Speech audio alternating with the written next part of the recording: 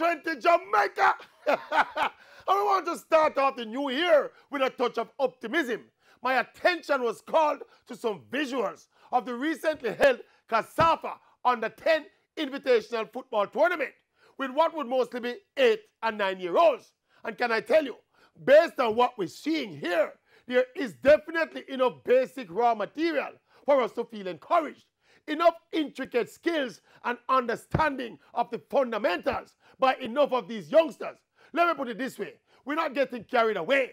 But let me say, the future of Jamaica's football could be possibly bright. the road to success is long and winding, but we have to do the right things in terms of nurturing and the development of these youngsters to keep them improving and keep them engaged. Again, there are no guarantees in sport, but since we talk so much about football development in Jamaica, let us at least try to facilitate the development of some of these youngsters and allow their talent to take them as far as possible.